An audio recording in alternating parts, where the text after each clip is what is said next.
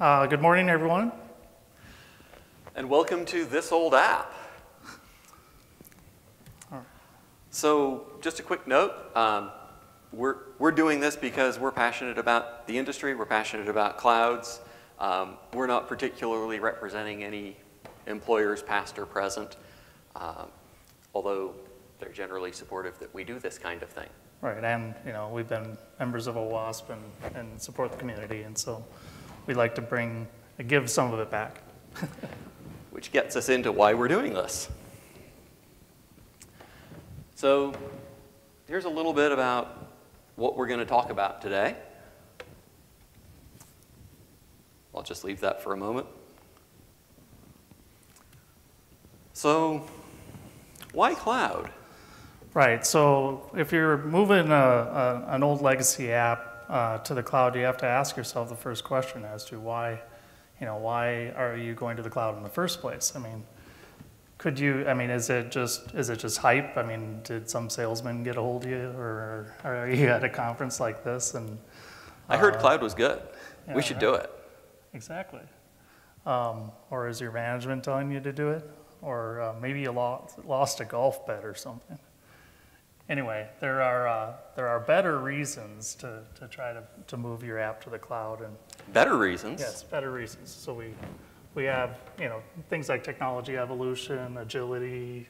I like that cost savings one. Oh, no, no, no. Cost savings is not the right idea. This is often the Oh. thing that people cite the most. That's not a it's thing, not is a it? thing. no, not really. No.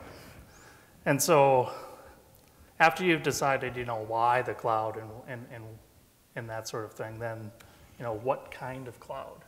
And since you're the cloud architect in the group here, why don't you, uh, Oh, all that? right. Well, uh, I like pizza. Anybody else like pizza? this is a uh, so this is a pretty good analogy that somebody else put together. Um, actually, one of the things we're trying to do, uh, I see other people doing it too, is include references to stuff because I believe in citing our sources. So if we missed one, we apologize. Uh, unfortunately, this model is a great idea, but it's wrong, um, and, for, and somebody fixed it. So the difference is that in the other one, um, like for IaaS, all the things that you bring yourself are kind of backwards. Like if it's infrastructure as a service, you wouldn't be using your own oven, would you? Um, so somebody fixed it. It's the beauty of the internet. It is. we are all smarter together. Um, so here's just a quick survey of clouds, some different clouds that are out there for some of the different models. Um, you know, NIST talks about uh, public, hybrid, private, and community. Um, pretty much if you're not using GovCloud, community is not a thing. Um, if anyone's got a got, got a, a counterexample to that or a, uh, something I ought to add to the community clouds that do exist, I'd be glad to add it. So how do you choose? Um, public has a lot of appeal. Um, you might notice that I have an opinion about hybrid. It does look that way. Yeah, well, you know, hybrid's a great way of performing unnatural acts on the cloud. Unnatural acts. Well, So, clouds are inherently disruptive. Um, they were created by developers to solve the problem of delivering value quickly. All of our classic data center problems, like change is bad, change is scary. I changed something and now I have a cascading failure and lots of things don't work. Everyone hates change in the data center. Clouds are meant to make change easy, fast, reliable, and if we do it right, secure. So it turns the security model up, uh, upside down because now speed is your, uh, is your ally. Fast things used to be the enemy of security. But now, if you can patch faster, if you can respond faster, if you can quarantine faster, what do we have to be afraid of? Oh, and by the way, you want to know all your assets? There's an API for that. Just ask. It works. So you have to change the way you think. There's a lot of great control frameworks and models. And then there's the implementations of them that are just traditional, right? They have all the classic expectations. And if you try to apply that to your cloud, man, not only will you get all of the benefits of moving slowly from your data center, you'll also probably force your cloud to do things that actually make you less secure. So don't do that. And the truth is, some of these control frameworks have to evolve with the cloud and, to, and take into account the cloud. I mean, you look at some of the things like PCI and HIPAA and things, they're already starting to go down that road in their next uh, evolution. Oh, that's a, that's a solid point. So this is, under the updated approaches, this is actually a set of bullet points from devsecops.org, the DevSecOps Manifesto. Um, and this is about the change in mindset, changing the way we think.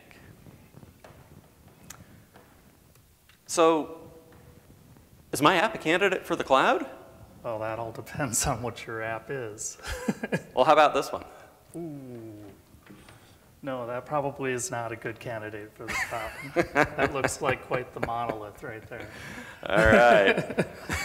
All right, so I would have to say to you, stop. Do you really know what you're thinking here? no, I'm just up here talking. All right, well, uh, since we are architects, I, uh, we, we really like patterns and architectural patterns. And when we uh, talk about architectural patterns, what we mean is that we're talking about something like the Gang of Four patterns uh, that are enterprise architecture patterns. They, you know, typically have a, a name of the pattern, a problem that you're trying to solve, the solution for that problem, and then any sort of consequences and things. And from our standpoint, some of those consequences are security consequences, since we're security architects. Um, but that is for software development or software architecture. We're trying to do this, uh, to, uh, apply these or apply patterns to cloud migrations. Um, so we need to in, in the spirit of the Gang of Four and, and that template that I just showed a minute ago, we were going to present a, a few possibilities for migration patterns. Um, so that's a migration pattern. So the first one is the. But monoliths are non-migratory. Uh, non uh, yes, they are, but uh, we're going to try to break that up and try to make sense of it. So you got the legacy app um, your cloud purist is going to look at, at that and say, well, if you want to move that to the cloud, you need to componentize your app into its smallest pieces, convert and refactor all of that to microservices, and then you'll live happily ever after in the cloud. Um, while that does sound good and is really probably idealistic, it is also the most disruptive and risky to your app in terms of where it stands today and where, where it needs to be as part of the migration. The other thing is, unless you've done this sort of thing before in terms of refactoring and converting things into microservices, uh, you're likely to do it wrong. Just because you learn a lot through the process of just your, your first migration and deployment into a cloud environment. Now, the second pattern is the forklift. This is what all the business people and every the, the, the people want to do. They just want to take your existing app, pick it up, and slap it down onto the cloud. And that just usually can't work in a typical monolithic app type environment where you have a single stack of, you know, a web server, app server, database server, all living together uh, in a stack which with, with all of its dependencies to things, you know, you might have directory services and databases and other web services that this monolith is talking to. So you can't just lift it up, stick it onto the cloud, and call it done. You have to account for all of those interdependencies that the app has. And that's where you potentially get into unnatural acts like expecting cloud things that were never intended to keep state to keep state, or have reliable session because, you know, clouds are inherently designed to be resilient to failure, but that means that you're riding on top of the thing that's going to replace the things underneath you. And if your app can't handle that, poof, there went your state in the middle of interacting with a client. Right, so I mean, we don't want to be in the business of creating a bunch of other dependencies in the cloud just to make our single app work, right? So we want, we want to think a little bit more creatively about that. Indeed. Um, which leads us to my last uh, pattern here, which is break it till you make it. So this is basically, you take your app, you throw it into the cloud, you see what breaks, and then you systematically fix the pieces until you have a, a working, running app in, in the cloud environment. Um, there are some inherent risks to this approach too, because you are not you know, properly decomposing your application into its components and converting them into microservices. But you are learning how the cloud works and how uh, your interdependencies uh, relate to uh, the cloud you're trying to deploy to and your app. Yeah, one of the great things about this is that you're not engaging in the fiction that you know how to decompose your app be, uh, to make it work in the cloud if you haven't done this before, right? So I've got a, I've got a case in point of a particular app where the team had, the team knew, knew they needed to move out of a data center. Um, they spent some time planning a decomposition to move it into a cloud. And one thing led to another, and they, they said, you know what, we've just got to push and try to, try to forklift this thing and just fix what, what breaks. So they ended up in the break until you make it pattern. And when we talked about it with them afterwards, they said, you know what? Our assumptions were all wrong. I'm glad that we went and tried to put it in the cloud and try that first and see what breaks. Because if we'd spent all the time investing in decomposing it and doing it the way we thought, we'd have been wrong. We'd have wasted a bunch of time. We'd have made some wrong assumptions. It's just, so it's, this is a great way to learn. But the, the important safety tip here is once you've successfully put it in the cloud, don't think you're done. Now you've got an app that you can actually deploy to the cloud. Now you've got a bunch more work in front of you. But it's a way to make sure that you do the learning as you go. So another way to think about this, I mean, from a software architecture point of view, you could, you could make a, an argument that uh, uh, the, the first pattern I showed, which was the decomposition pattern, is more of a um, kind of waterfall method of architecture, whereas this is more of an agile uh, methodology. It is because you you iterate and fix as you as you as you go. So uh, there is there is some prior art in this space. I mean, so I, it's not just us inventing patterns. Um, Martin Fowler of Game, Gang of Four fame did uh, kind of invent this strangulation pattern. And um, it, it's, it's specifically for dealing with monolithic applications and deploying them into the cloud and developing a methodology for that deployment and for the refactoring. And so what he suggests is that you, you, you have a monolith application, it has clients, and those clients have, or the, the monolith has functions that the clients are trying to access, so basically services. And what, what Martin suggests is that you build a RESTful API layer on top of your monolith um, to, to interact with an adapter that can convert uh, whatever, your, whatever your clients are used to in terms of uh, protocol or um, communication into RESTful-based services over HTTPS. Um, and by doing so, you can then concentrate on each of your functions and do a refactor into a microservice, which leads to the elimination of that function from the monolith. But, the mon but you can keep the, the, the two systems operational, the microservice and the, the leftover legacy system in the same cloud environment as you refactor. Yeah, one of the cool things about this is that it opens up the door then to adding new clients that talk to the monolith via the uh, uh, via that API abstraction layer. So you can add clients, and then as you carve out the pieces, you can gain speed. And then eventually you can take away the monolith because you've replaced all of the all of the monolith functions with microservices. But it lets you eat the elephant one, uh, one bite at a time. Right, so I mean, think of the functions of, of things like uh, database connections or Active Directory connections or you know SMTP or whatever your monolith is, is talking to. And then the, the adapters uh, are basically um, service brokers for that, that particular service um, to interact with the client.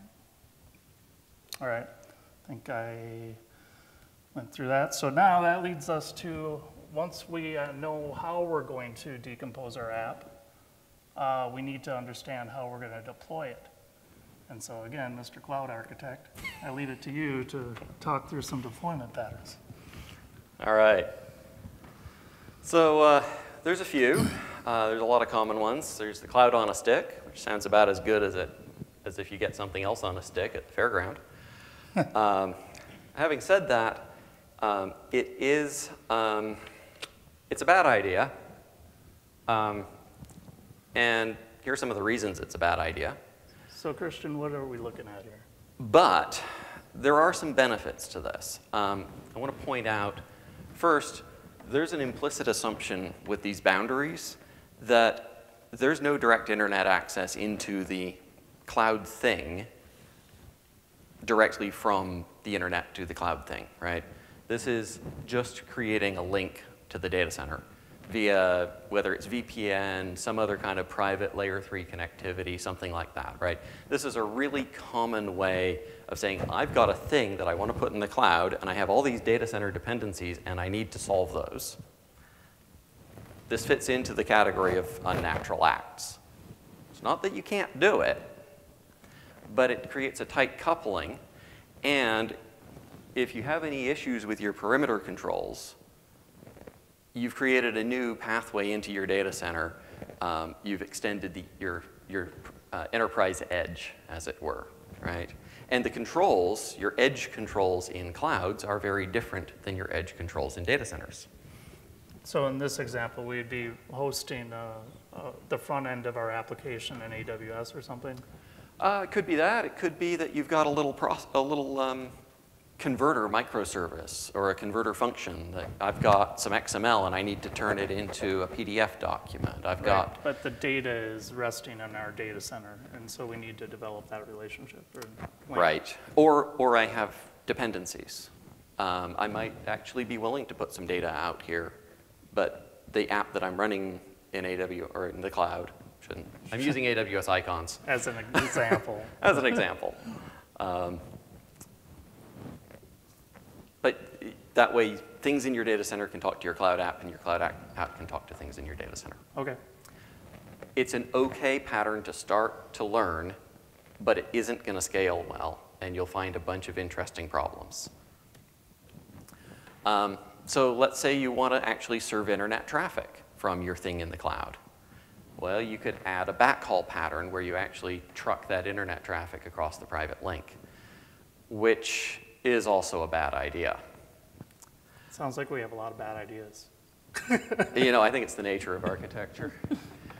Um, so this has all of the practical upshots of the previous pattern with the added benefit of if you happen to get a particularly skilled attacker um, who knows how to abuse cloud hosted environments, now they, if they manage to break into your app in the cloud, they can maybe, I don't know, steal your role and maybe if you did that badly, take over your account. Um, plus, you get all the latency of trying to serve internet clients across your uh, private link. Um, so then there's, well, let's solve that problem by sending the internet clients directly to the cloud thing, right? Um, so in case you didn't catch it, there's the leak. what could possibly go wrong? Um, so in case we, it wasn't already obvious, right, this is a really bad idea. All okay, right. Do we have any good ideas? Funny you should ask. Oh, okay. um, that wasn't set up at all. use, use clouds the way the cloud was intended. Clouds are meant to be decoupled. They're meant to be loosely coupled. They're meant to interact with things over web services. There's a reason all of the clouds have web service APIs and make assumptions about interacting with things over web services. They promote loosely coupled patterns. So the idea here, I've got a thing that I'm running in the cloud.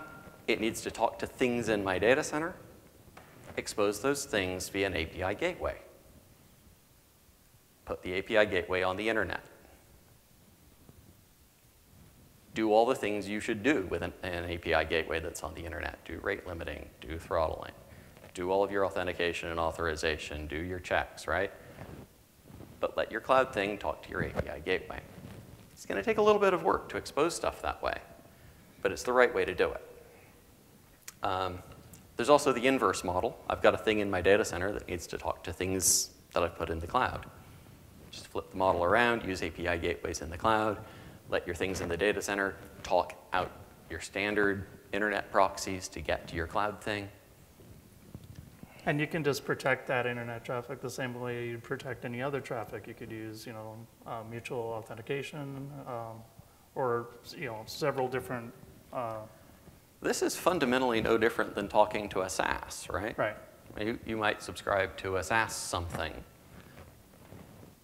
Now your cloud app is just a SaaS to you. Um, and then put it all together, right? If you need to talk both directions, set it up both ways. Use web service APIs the way cloud's intended. So uh, this gets us right, to. so this, this leads us sort of to the end here where we, we do have a couple of hypotheses that we want to, to just uh, bounce off the, the group here. Um, Our first one, uh, Christian, Oh, yeah. Um, speed is better than thinking about it. Um, clouds, you'll learn something. Find something that's, that you can afford to make a mistake with, honestly. Find something small, something that you can make, afford to make a mistake with. Get out there, do it, learn it, make the mistakes. Have a few ground rules so that you don't make big mistakes because you're going to stub your toes on stuff. You're, every enterprise is a little bit different. Every business is a little bit different. We can give you guide, guidelines on what mistakes you might make, but you're going to discover your own unique versions of those. And that's important because that's, it's part of a learning pattern. It's part of how, um, it's part of how you instill the, the cloud lessons in the rest of the business because it's not just about getting a thing to the cloud. It's about, it's about building uh, that organizational muscle to understand what it is to do things in the cloud. Right, there's a lot of, I mean, the, the technology hurdles to getting into the cloud are, are nothing compared to your organizational changes and, and what is necessary to adopt cloud thinking and to, but it, but it's all intertwined. I mean, you, you can apply the same thing to like um, a DevOps uh, um, mission as well. So if you wanted to, to automate your build chain, which a lot of us are trying to do, um, the natural places where we would have security gates and things have to sort of evolve. You have to change your, your way of thinking, and the organization has to change its way of thinking and its enforcement of risk and, um, and that sort of thing in order to uh, keep up and evolve with, with the agility and, and speed of the, of the cloud. Uh, and so our advice, I mean, like we started out with, is that you, you know, start with something small and make that initial deployment into the cloud and have, have that success, and then build on that using the same kind of method to deploy more and more applications. The corollary to that is don't pick something trivial. Pick something that's meaningful. So you should be, you should be able to afford to make mistakes with it, but don't pick you know, the, the little app in the corner that nobody cares about. Pick something that's meaningful that, will get, uh, that, that you'll get some business value out of because you want, you want a value story out of it, right? You want to say, we moved this thing, it provided this value, we learned these lessons, and you build a success story around that. All right, and then um, our second hypothesis is sort of mine. Um, containerize it. So another issue that we have in the cloud is that your app uh, may be commingled with a lot of other apps, and so we. Um, in security, we would want to see some sort of formal uh, isolation of those apps from each other so that they can't communicate with each other or to limit the actual blast radius of some sort of event. So if a hacker got in, it would limit their ability to pivot if we could isolate these applications from each other. But Yeah, and I think you're, you're hinting at a classic problem of data center apps, which is that data centers, I mean, this is going all the way back to the Jericho Forum stuff, right? But data centers, apps in data centers tend to have assumptions that they can talk to their neighbors, they can talk to things without too much challenge because there's implicit trusts there. Right. But as we've uh, grown as an industry and everything, and as security has become more and more important with the, you know, the, the types of breaches and things that we have, we have standard bodies like PCI DSS, for example, where they come in and say, well, yeah, it'd be nice if you're, if on your cardholder network, you're, you're isolating um, uh, servers from each other uh, and, and Right. zones from each other. Well, and, and the practical upshot of that is that you can move faster because if you, if, if you contain things and you contain your, uh, your fault zone, then you can make change faster, you can deliver value faster with lower risk because your risk of impacting other things around you is dramatically decreased. So, in a traditional cloud environment, um, there are several different ways that we can create this kind of isolation. Uh, some of them are more expensive and, and, and difficult to do than others. I mean, we could, uh, we could implement, uh, you know, virtual firewalls. We could implement physical firewalls and have multiple clouds. Uh, but all that starts sounding really expensive. And so we were talking about it and we thought, you know, there is a, there is a possibility that you could use um, uh, containerization technology like Docker to create um, proper network or proper isolation by, you know, applying a network overlay to it um, and then containing, you know, like your monolith app inside of that while you're working on decomposing it. And do, do it in a templated way um, and actually use the containers to help you abstract your dependencies um, so, so that you, you relieve some of the problems of your monolith app. Right. Uh, so this, this is an idea that, you know, we, we actually wanted to bring it out, get a little bit of, uh, get some community engagement, some, uh, some thought on. We think this is an area that's worthy of, of more research. So we wanted to share the things we've learned on, on our journey so far, and then also bring, bring some ideas out. And uh, others may be further along on this path than we are, uh, and others may not have seen this yet. So we wanted to bring this out and, and have a dialogue about it. Yeah, so the last piece I'll say about that, I mean, the, the reason we can create that isolation in a container is that we can, we can, first of all, you know, limit the communication ports that the container talks on. And we can lock down the internal uh, commands within that, the OS of that container so that it can only do the things that you're putting into it, uh, only, only what it's supposed to do. And then further, you can apply rules like AppArmor or SE Linux to, to define what the kernel calls are doing and what, what the, the container is actually capable of doing uh, from a kernel perspective. And so all of that together uh, sounds like uh, uh, that you could create an adequate or at least a compensating control for network segmentation or for isolation. So that's the hypothesis, um, which leads us to the end. Get involved, join the community. Um, have a conversation with us about it.